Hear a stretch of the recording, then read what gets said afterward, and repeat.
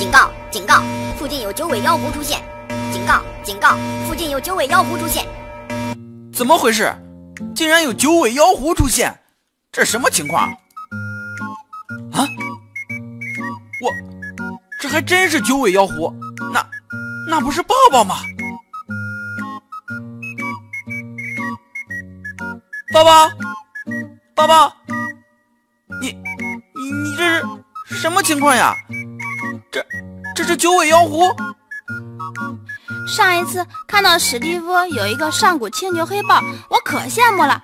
这不，我现在立马收服了一个九尾妖狐，是不是很炫酷？我的天哪，抱抱，你这也太厉害了吧！这。这竟然是真的九尾妖狐！这神兽是不是都被你们两个给收服完了呀？我我怎么没有遇到呀？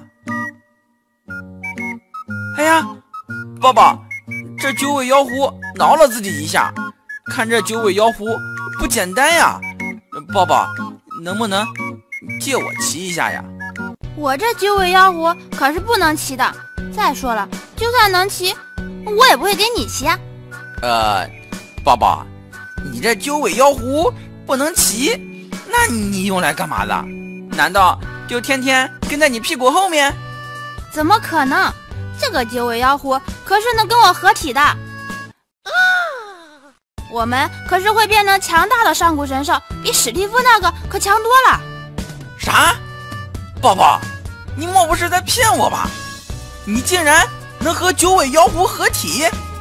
我不信，有本事你来一个，那你可看好了！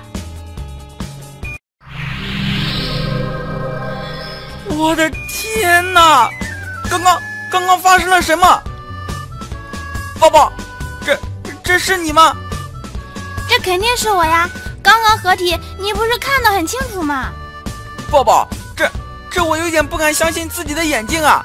这你就不知道了吧？我只有跟九尾妖狐合体了，才能释放强大的技能。你让开，我给你看一下。我这这这这，我的天哪！抱抱，你这释放的是什么技能啊？我这可是神族的技能，跟你这个凡人可是讲不通的。切，抱抱，你不愿意说拉倒呗。你信不信？我也去驯服一个神兽，就凭你还想驯服神兽？怎么可能？哪个神兽愿意跟着你？别看不起我，抱抱！我现在就去驯服神兽去，我还就不信了。